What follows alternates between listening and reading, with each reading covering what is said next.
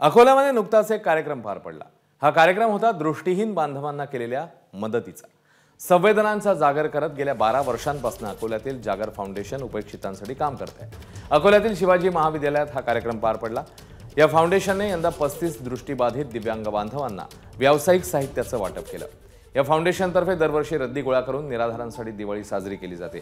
जागरने यंदाही अठरा पूर्णांक चार टन रद्दी गोळा करत दृष्टीहीन बांधवांच्या जीवनात दिवे उजळवण्याचं कार्य केलंय. राज्यभरातनं जवळपास सव्वा चारशे लोकांनी रद्दी आणि पैशांच्या माध्यमातून या उपक्रमाला मदत केली.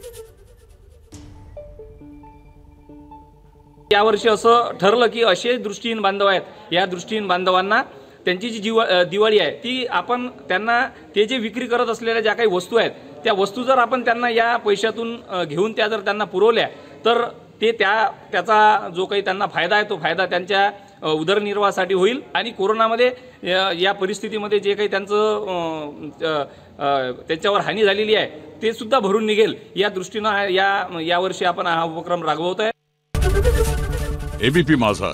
उघडा डोळे बघा नीट.